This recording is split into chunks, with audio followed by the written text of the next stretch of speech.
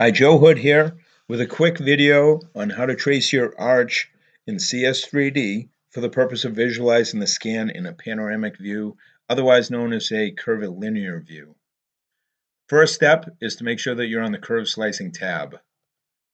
And if your software is not set up to automatically trace the arch, this is the type of view you will have. The next step is to grab the slider control and move the axial plane down so that you can begin to visualize the canal.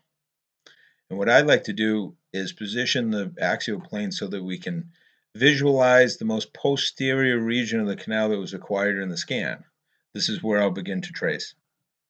The next step, you grab your arch tracing tool and with a series of left clicks, starting at the outermost region of the scan, I'll trace along the canal. As I start to do this, you'll see the panoramic view begin to appear in the top right of the screen. So ideally, we're going to trace the arch along the canal. And in order to do that, you can continue to grab the slider and move the plane so that you can continue to visualize the canal as you trace. Now, as I come around to the left side, you can either grab the slider again to continue visualizing. Or you can actually use your scroll wheel to make micro movements up and down. And when to finish, you want to double click again on the outermost region of the scan.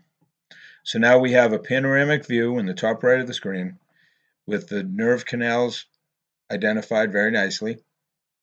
But it doesn't look like a traditional panoramic, does it? That's because it's displayed as a 150 micron thick slice along this red curvilinear line, right? So it's not showing all of the anatomy that's acquired in a panoramic. But that's okay because the initial purpose of doing this is to be able to trace the nerve canal. We'll do that first before having it display as a traditional pan. So the next thing we want to do is take our cross-sectional plane and slide it over so you can visualize the mental foramen in the cross-sectional view at the bottom right of the screen. We'll then select our nerve tracing tool and we can trace the nerve in both the cross-sectional view as well as the panoramic view. I usually start here, again a series of left clicks.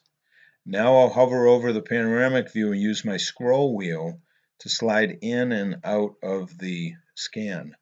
And where the nerve canal is most or best identified, that is generally the slice being right in the center of the canal and a safe place to, to mark.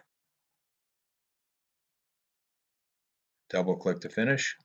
And the nerve, the traced nerve is displayed in all four views.